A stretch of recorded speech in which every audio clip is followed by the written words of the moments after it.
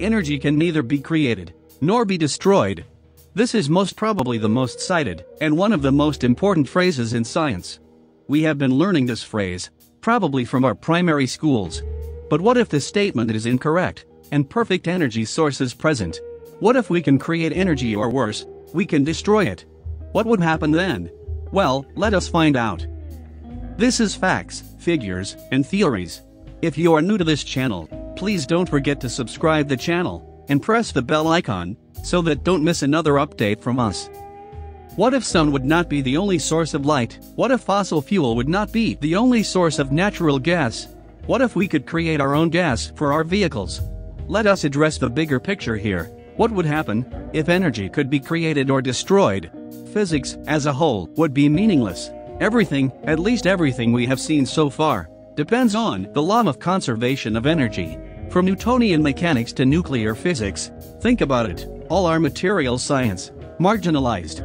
Another thing is, all the trade wars, energy crisis, disputes over non-renewal source of energy, energy storage, etc., etc. We could go on and on, would be worthless with a single discovery. If we could find a way to create energy, the world's energy problem would be solved. Essentially, the way we think would changed. We think, as everyday beings, that if there is a certain something, it is understood that there existed a pioneer to that certain something. The sun, the sole star of our galaxy, would not be as important as it is today, as the major source of energy. Solar energy would not be of that importance, as we can create our own form of energy.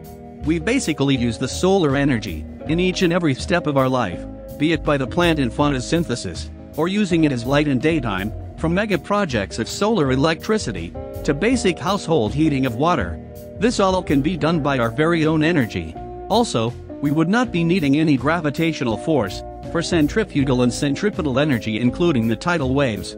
We could create our own tidal waves. And we could also create our own surfing tides. This is one of the most important rules that scientists have found which describes natural phenomena. Unfortunately, there is no non-circular proof of energy conservation in the end. All laws of physics that we know of are the result of observation, formation of hypotheses, making predictions, and testing them. Conservation of energy is one such law. If energy could be created or destroyed, all of our ideas of how the world works would have to be modified in some way, and we'd learn something very confusing. But so far, energy seems not to be created or destroyed. Energy can be converted from one form to another. Mechanical energy, such as the kinetic energy of motion, can be converted to heat energy, for example in the heating of a car's brakes when it slows down. Chemical energy in the gasoline of the car can be converted into both heat energy in the exhaust and heating the engine, and into mechanical energy to move the car. Potential energy, such as the gravitational potential energy, stored in an object which is on a high shelf, can be converted into kinetic energy as the object falls down. Electrical energy can be converted to heat or mechanical energy, or sound energy in a variety of useful ways around the house using common appliances.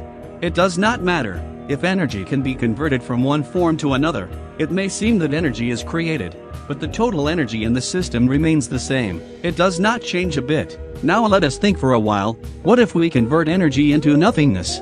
What if we could destroy energy? As per physics, you cannot destroy energy. The law of conservation of energy is one of the most fundamental laws of physics, and has never been known to be violated.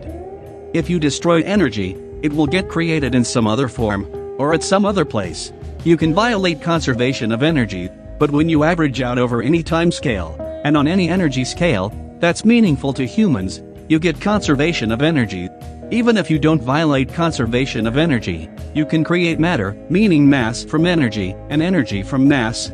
In particle accelerators, like the Large Hadron Collider, which is the world's largest and most powerful particle accelerator, use the energy of the collisions to create new particles with mass. The technology needed to create particles from energy and then assemble those particles into useful objects is incredibly far-fetched. In addition, the amount of energy required would be immense so no one would want to pay for it. What do you think about this? Please write us in the comments below. If you like this video, please don't forget to press the like button and share the video. If you have not subscribed to this channel yet, please don't forget to subscribe the channel and press the bell icon so that you don't miss another update from us.